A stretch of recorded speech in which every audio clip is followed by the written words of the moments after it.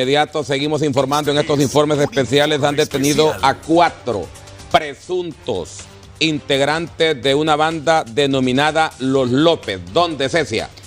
La captura se ha realizado en Lempira, en el sector de San Andrés. Cuatro individuos fueron capturados mediante un operativo realizado por la policía.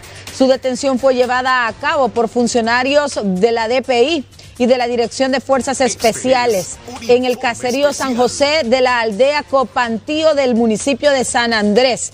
Los sospechosos tienen 29, 24, 19 y 38 años de edad, originarios y residentes del lugar. A ellos se les supone integrantes de una organización delictiva denominada Los López, quienes supuestamente mantienen atemorizados a los vecinos de varias aldeas, ya que son violentos y han matado a varias personas según los testigos.